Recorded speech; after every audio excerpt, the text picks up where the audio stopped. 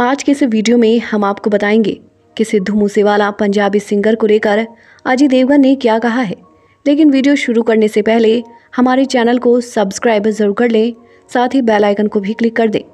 पंजाबी गायक और कांग्रेस नेता सिद्धू मूसेवाला की हत्या के बाद फ़िल्म, संगीत और टीवी जगत की हस्तियों ने शोक प्रकट किया है।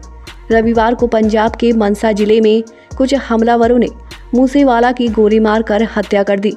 आधिकारिक सूत्रों के अनुसार, कनाडा में रहने वाले गोल्डी बरार ने मूसेवाला की हत्या की ज़िम्मेदारी ली है। सिद्धू मूसेवाला जाने माने पंजाबी सिंगर थे। उनकी मौत के बाद फैंस शोक में डूब गए हैं। वहीं बॉलीवुड एक्टर अजय देवगन ने इस हत्याकांड पर हैरानी और अफसोस ज़ाहिर किया है। बॉलीवुड एक्टर अजय देवगन ने ट्वीट कर लिखा वाहे गुरु उनके प्रियजनों को दुख की इस घड़ी में ताकत दे। ईश्वर दिवंगत आत्मा को शांति प्रदान करे। अजय देवगन आगे कहते हैं कि अभी इस पर विश्वास नहीं हो रहा है कि हमारे बीच मशहूर सिंगर सिद्धू मूसेवाला नहीं रहे।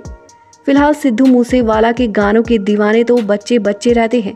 फ़िलहाल अजय देवगन के इस बयान पर आपकी क्या राय है? कमेंट करके ज़रूर बताइएगा।